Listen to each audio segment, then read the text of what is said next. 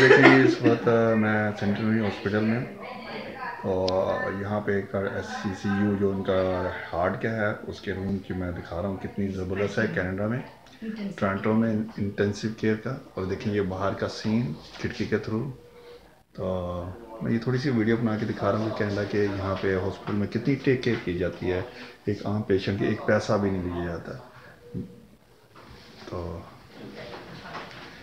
یہ بیڈس ہیں دیکھیں یہ دیکھیں کیا کیا اوپر سیلنگ ہے؟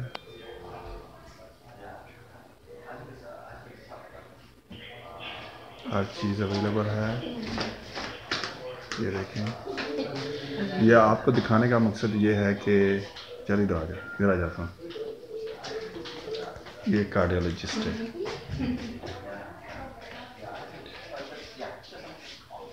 اصل میں یہاں پہ میرے عزیز جو ہیں وہ ان کی فائیو بلاکیج تھی، تو ان کو تھری اسٹینڈ پڑے ہیں، دو ان کو کلیئر کیے ہیں، دو دن کے اندر یہ کام ہوا ہے اور ہم the without any cost special room دیتے ہیں اسپیشل یہ کام کرتے ہیں۔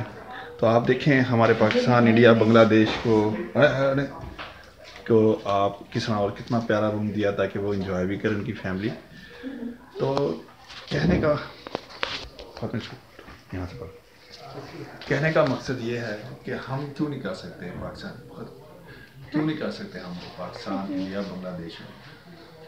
تو اس کا مقصد ہے کہ ہمارے قرآن غلط ہیں، وہ لوگ نہیں کرتے۔ اور یہاں پہ دیکھو کتنی خدمت کی جاتی ہے اور کتنی یہ چیزیں کی جاتی ہیں، بغیر منی کے، بغیر ہر چیز کے۔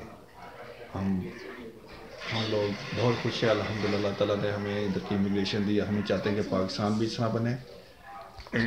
انڈیا، بنگلہ دیش اور ہمارے جتنے بھی ایشین ملک ہیں، سب ان چیزوں میں آئے۔